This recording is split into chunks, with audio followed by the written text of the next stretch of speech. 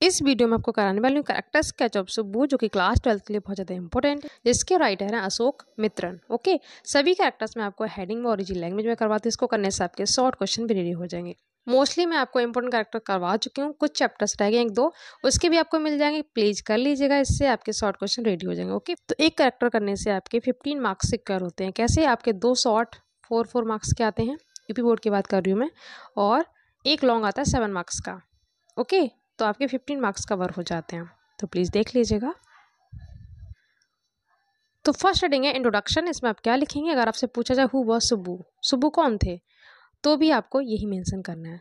Subbu was an amazing actor poet and novelist Subbu कौन थे? कौन थे? एक अद्भुत अभिनेता कवि और उपन्यासकार थे। आप यहाँ पे फ़िल्म डायरेक्टर भी लिख सकते हैं। एक पॉइंट आप बढ़ा सकते हैं।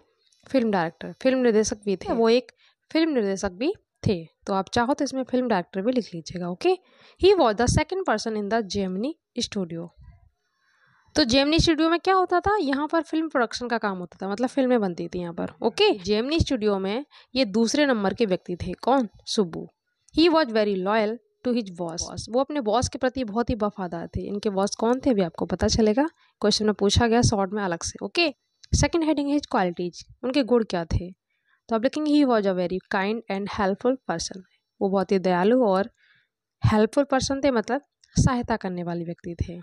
ही ऑलवेज लुकड हैप्पी वो हमेशा खुश रहते थे। His nature was very loving उनका जो बिहेवियर था, व्यवहार था बहुत ही प्यारा था। He was very flattering and hard working person flattering का मतलब था चापलूसी करने वाला व्यक्ति। तो इनके अंदर ये भी गुण था, चापलूसी करने वाला और हार्ड वर्किंग बहुत थे। ठीक है, कठिन परिश्रम बहुत करते थे। तो इस टाइप के व्यक्ति थे। तो ये इनकी क्वालिटीज हो गई okay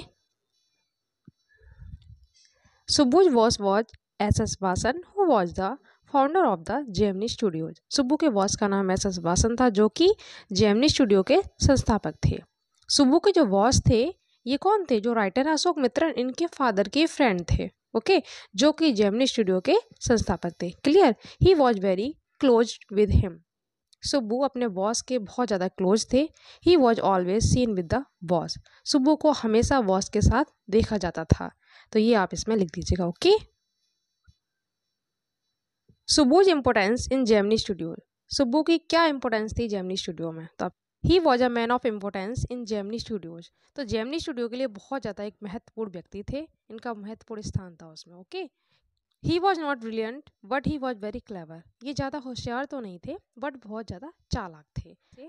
That led him to outwit everybody जिससे वो सभी से आगे निकल जाते हैं। तो क्लेवरनेस यानी चालाकी की वजह से ये सभी से आगे निकल जाते हैं। नेक्स्ट रेडिंग हिज एनिमी इनका शत्रु कौन था? His enemy was the office boy एक ऑफ़िस बॉय था जो इनका शत्रु था। द बॉय वॉज़ श्योर्ड उस लड़के को पूरा विश्वास था दैट की Subbu was the cause cause बोलते कारण को ऑफ़ हिज सैडनेस सैडनेस बोलते दुख को, ठीक है? उस लड़के को पक्का विश्वास था कि सुब्बू ही उसके दुख का कारण था। दैट्स वाई इसलिए he did not like him वह लड़का सुब्बू को पसंद नहीं करता था।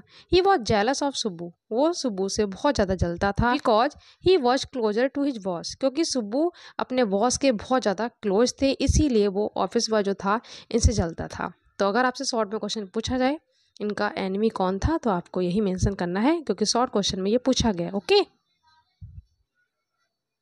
लास्ट में आप कंक्लूजन में क्या लिख देंगे? Subbu was the man who gave a new direction to the Gemini studio during its golden years तो सुब्बू एक वो व्यक्ति थे जिन्होंने जेमनी स्टूडियो को एक नई दिशा दी थी, क्योंकि इनका बहुत इंपॉर्टेंट रोल था फ़िल्म बनाने में okay during its golden years अपने स्वर्णिम वर्षों में इन्होंने जेमनी स्टूडियो को एक नई दिशा दी थी ओके तो ऐसे आप लिख दीजिएगा, आपको फुल मार्क्स मिल जाएँगे। वीडियो अच्छा लगा हो तो प्लीज़ लाइक शेयर कर दीजिएगा। मिलते हैं नेक्स्ट वीडियो में। Thank you so much